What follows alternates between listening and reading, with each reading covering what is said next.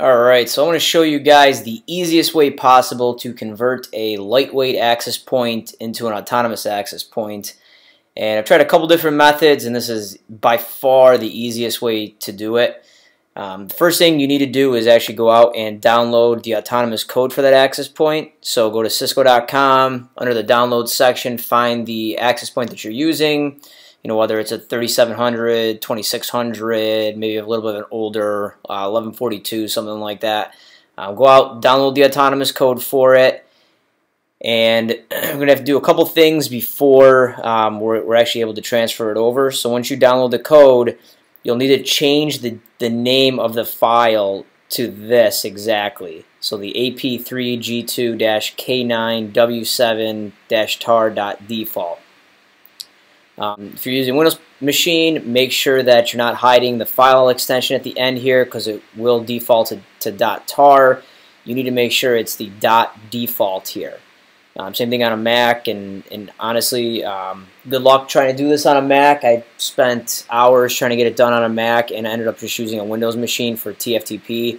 Um, if you can get it to work on a Mac, great. Let me know how you did it, because uh, you know I could not get it to work. I've gotten uh, the Mac to work with TFTP before for a bunch of other uh, routers and switches, but for some reason the wireless APs just don't like the Mac TFTP server. So um, again, I'm just showing you guys here the local file name of, of what it is on my computer, but I actually have this file on a TFTP server on a Windows box. So after you download the file, after you rename it, um, on your TFTP server, you're going to need to change your IP address.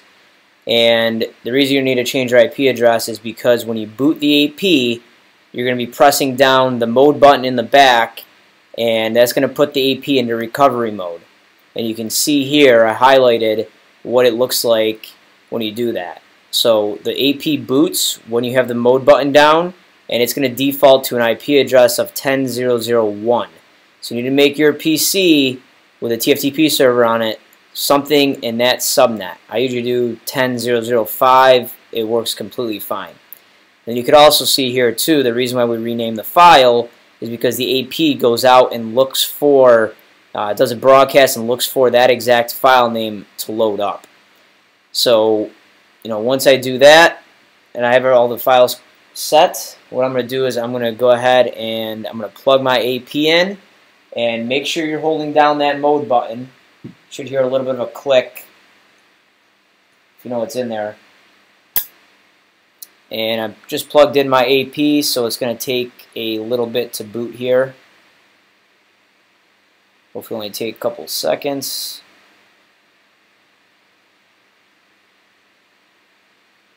And you can see it starting to come up here in terminal. Alright, now mode button is pressed. You, can, you guys can see that there. Um, the important thing here is it needs to be pressed for longer than 20 seconds. If it's not, then this won't work. So I'm going to release now. It should have been 20 seconds. And you can actually see here that I had it pressed for 26 seconds. So nice that it tells you that. Um, if it's less than 20 seconds, again, this won't work. So right now, it's going out. And we can actually see that it's, uh, I can't show you guys my TFTP server. I just looked over my shoulder, but it's uh, it's pulling all these files down and everything. So we'll let this go for a little while. I'll probably stop the video and then and then start it again once it comes back up.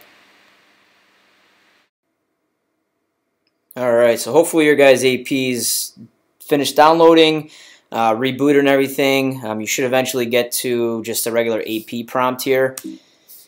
And what we're going to do here is we're going to go into enable mode on this. Uh, if they ask you for a password, the default password is Cisco with a capital C. So C-I-S-C-O. Enter. And you can see we're in enable mode here. I'm going to do a config T. So I'm going to put a uh, I'm going to put an IP address on the BVI interface here, so that way we can we can actually get to this thing again um, without having to go through through command line and uh, in terminal here. So uh, I'll show you guys how to do that, and then you can even configure it through the GUI on the web if you wanted to. Uh, so I'm just going to go in, again, config here, and do interface BVI1,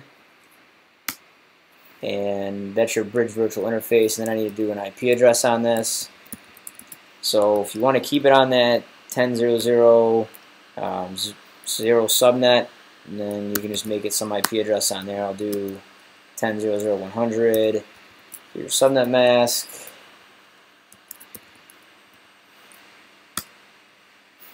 And that's it. If you want, you can save this.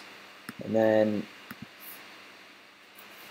now we should be able to go to 10, 0, 0, 100, and you're in. And if this page pops up and it asks for username and password, um, username is, again, Cisco with a capital C, and password is Cisco with a capital C as well. So now you should be in it, and you can go in, you can figure this through the GUI if you wanted to. And that's it. Thanks, guys.